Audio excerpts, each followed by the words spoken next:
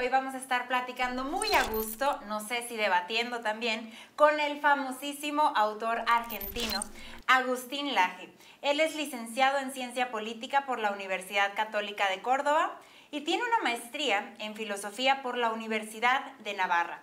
Es escritor, politólogo, intelectual y conferencista y nos viene a platicar hasta México sobre su nuevo libro, Las batallas culturales. ¿Cómo estás, Agustín? ¿Qué tal, Marta? Muy bien, muchas gracias. Mira, aquí tengo ya tu libro, estoy muy feliz, lo comencé a leer. Pero bueno, es un libro bastante grande que no he podido terminar, pero me gustaría empezar, Agustín. ¿Qué es una batalla cultural? Mira, una batalla cultural es una disputa por los elementos de una cultura que se lleva adelante con arreglo a las instituciones y los dispositivos culturales. ¿Qué significa esto? Esa es la definición. ¿Qué significa? claro, digamos, los elementos de una cultura son varios.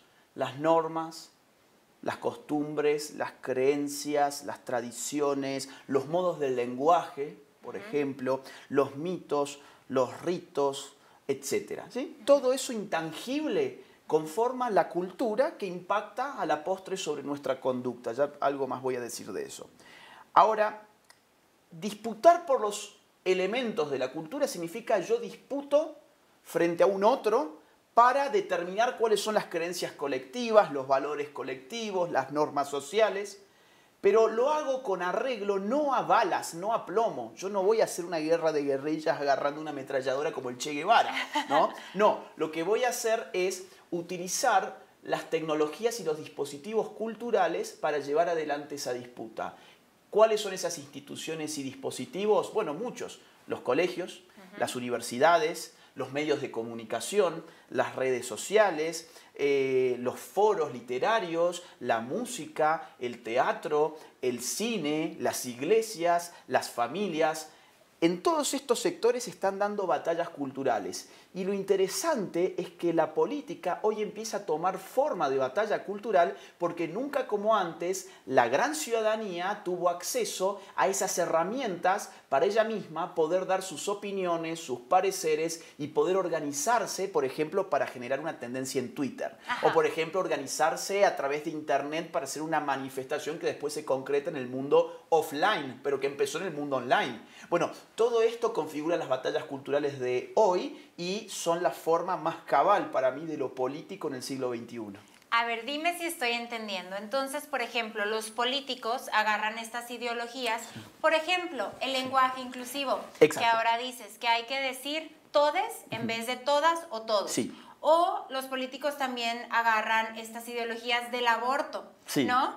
Que después se vuelve todo un tema. ¿A eso te refieres con que la cultura está adentrándose mucho a la política? Claro, o sea, vos fíjate, la política antes era sobre grandes asuntos públicos, ¿no? Decían en Estados Unidos, es la economía estúpido, ¿no? Eso, eso fue un eslogan que sintetizaba que las personas los asuntos políticos eran finalmente los del bolsillo.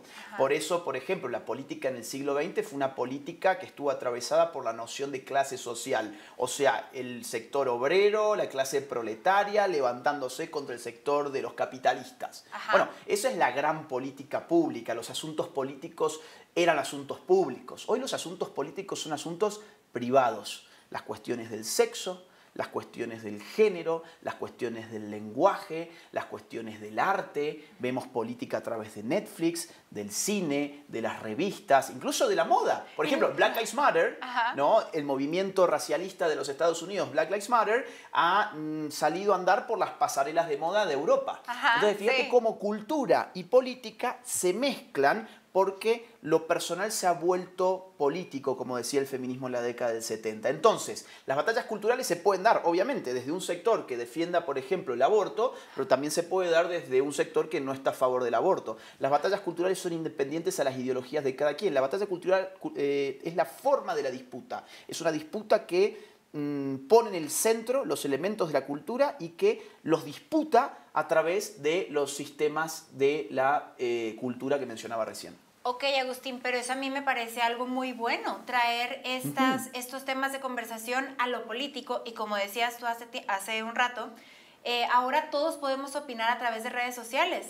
A mí me parece muy bueno que todos puedan expandir sus opiniones a través de redes sociales y que el celular no te sirva simplemente para sacarle una fotografía a tu plato de comida o para hacer tu selfie en el baño, que atrás se ve el retrete, ¿no? No, no, bueno, eso está bien, si les gusta hacerlo, háganlo, está bien. Pero a mí lo que más me gusta de esa tecnología es que te permite compartirle al mundo lo que vos opinás. Eso me parece obviamente que es el polo democrático que tienen las redes sociales. Por eso yo no es que yo critico la batalla cultural, al contrario. Yo digo, acá hay que dar batallas culturales porque es la forma de la política hoy.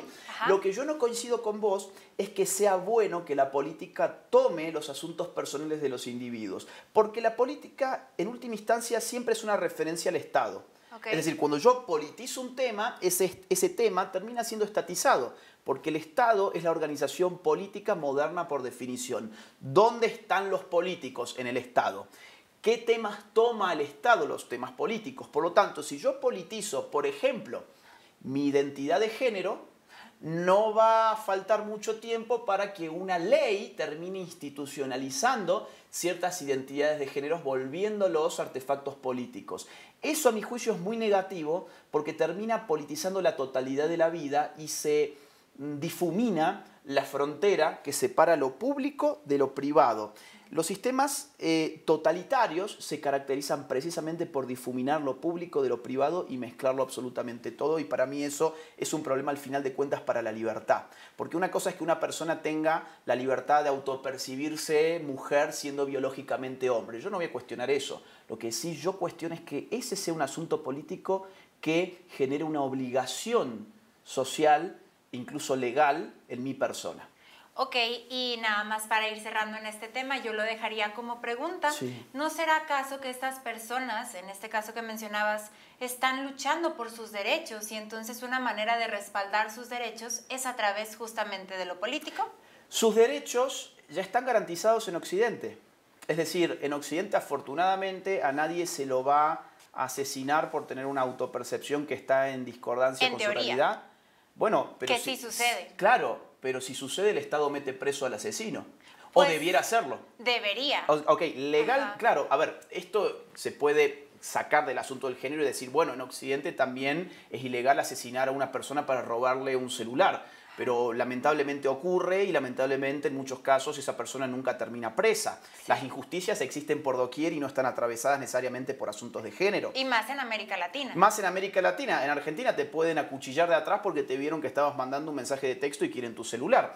Ahora, en Occidente no es un problema real. ¿El derecho cuál es? Vamos a ver. El derecho es a que yo pueda autopercibirme como yo desee sin que otro me agreda a mí por eso. Pero yo no tengo el derecho de imponerle al resto mi autopercepción. Ahora, cuando se habla de los derechos reclamados al Estado, generalmente se habla de eso mismo. Te voy a poner un ejemplo.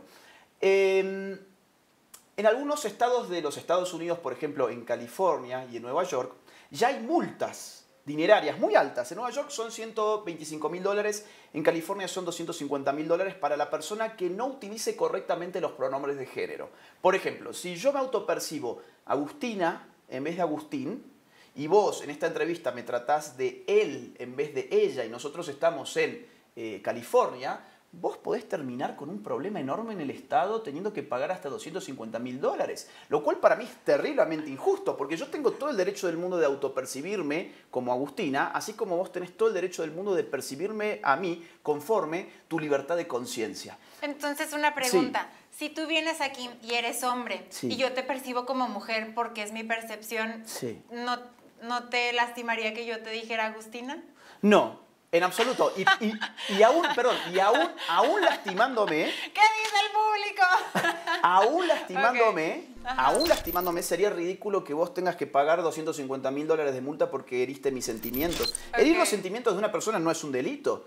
O sea, vamos a poner, por caso, yo te percibo como un hombre y yo te hablo a vos de él. Bueno, vos me puedes decir, mira, sos un maleducado, te vas de mi medio de comunicación, no me interesa tener un diálogo con vos, listo, se acabó. Pero sería ridículo que metamos al Estado para disputar una cuestión de sentimientos. Le estamos dando al Estado demasiado poder sobre los individuos, a mi juicio. Entiendo, entiendo. Y por eso estamos aquí el día de hoy, para poder platicar sobre tu libro.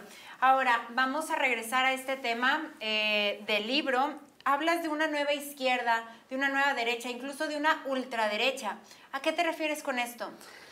Bueno, en general, ultraderecha es la forma en que los medios de comunicación hegemónicos le llaman a todo lo que no se arrodilla frente a la progresía y al izquierdismo. Eh, me daba mucha gracia en las elecciones, por ejemplo, de Chile, fueron hace un par de meses nada más, donde el candidato de la derecha, que era José Antonio Cast, en todos los medios era rotulado como el ultraderechista José Antonio Cast.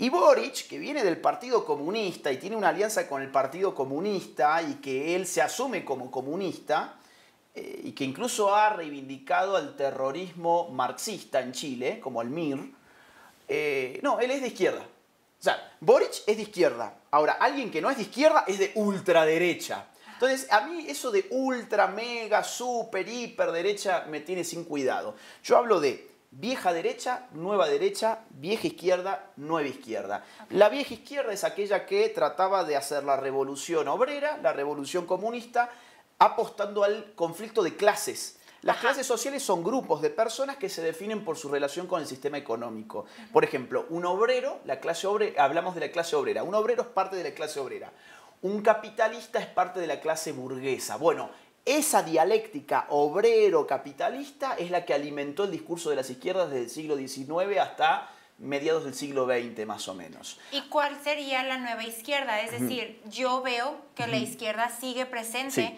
en eso que dices tú. ¿Cuál sería la nueva izquierda? La nueva izquierda es la izquierda que allí donde antes iba la fábrica a decir, obreros, vamos a hacer la revolución contra el patrón que los explota a través del sistema capitalista, hoy la, la nueva izquierda cambia los actores y dice, mujeres, vamos a hacer la revolución contra el hombre que las oprime a través del sistema patriarcal. es la misma dialéctica, la misma dialéctica, o por ejemplo, homosexuales, vamos a hacer la revolución contra la heterosexualidad normativa que nos impone este sistema eh, falocrático. Bueno, es la misma estructura, suerte que cambia los actores. Se ha dejado de preocupar tanto por la economía y ha pasado a preocuparse por la cultura y dentro de la cultura por el asunto sexual primordialmente. Entiendo, entonces podríamos resumir un poco que la izquierda es eh, decir libertad, libertinaje o, algo así, y la derecha sería conservador. A ver, no necesariamente. Yo no creo que la izquierda sea libertad porque la izquierda siempre es una remisión al Estado. La izquierda siempre reenvía el asunto político al Estado y el Estado por definición es el monopolio del uso de la fuerza. O sea, el Estado fundamentalmente es una maquinaria que tiene por función limitar la libertad del individuo. Cualquier cosa que yo mando al Estado es un límite para la libertad del individuo, por lo tanto yo creo que la izquierda no es liberal, sino que es liberticida. Liberal, esa es la palabra, liberal. En, Estados Unidos le, llaman liberals, eh, pero acá liberal en América Latina significa otra cosa, significa una persona que quiere menos Estado en su vida, menos burocracia, menos impuestos, menos políticos y menos gastos públicos. Eso configura hoy una pata de lo que es la nueva derecha. Es decir, los liberales clásicos, los libertarios, también los conservadores que vos mencionabas recién, eh, son parte de lo que yo en el libro llamo la nueva derecha, diferente de la vieja derecha, que eso es otra cosa. La vieja derecha este, no, no voy a hablar nada de acá de México, ¿sí? no, lo, no lo puedo hacer porque acá hay un artículo constitucional, pero lo voy a poner con otros ejemplos. Por ejemplo, en España el PP, eso es la vieja derecha. La nueva derecha en España es Vox. Por ejemplo, en Chile la vieja derecha era Sebastián Piñera, la nueva derecha era José Antonio Cast. En Argentina la vieja derechita cobarde centro derechita, ¿verdad? Era Macri, la nueva derecha es Javier Milei. Entonces tenemos, o por ejemplo, Donald Trump entraría seguramente dentro de lo que yo llamo nueva derecha, que es una comunión entre sectores conservadores y libertarios, frente a la progresía y al izquierdismo.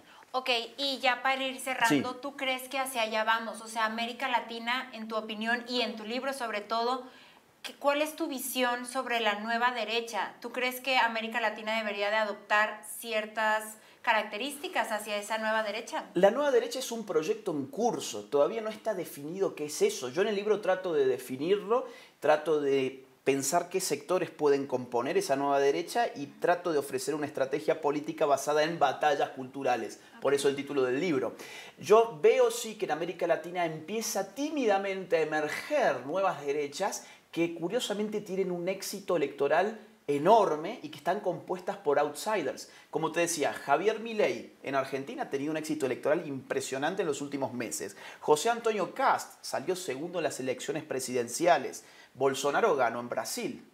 Eh, en España, Vox en solo cinco años pasó a ser la tercera fuerza nacional. Entonces, ¿hay un futuro para la nueva derecha? Yo creo que sí, que lo hay, está emergiendo, pero es un proyecto en curso. Hay que ver qué le deparan los años siguientes y qué estrategias adoptan. La estrategia que yo ofrezco en el libro es una estrategia basada en batalla cultural. Excelente. ¿Hay algo más, Agustín, que nos quisieras compartir?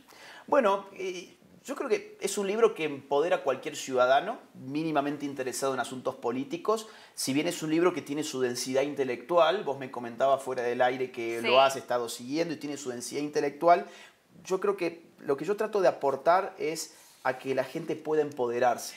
Y para empoderarse políticamente no basta leer libros de autoayuda, este, cositas así, manuscritos que parecen que tienen cinco páginas. No, esto es pesadito, es un libro que tiene más de 500 páginas, pero yo les aseguro que esta lectura les va a, digamos, cultivar la parte política del espíritu y los va sobre todo a empoderar para poder dar sus batallas culturales en el siglo XXI.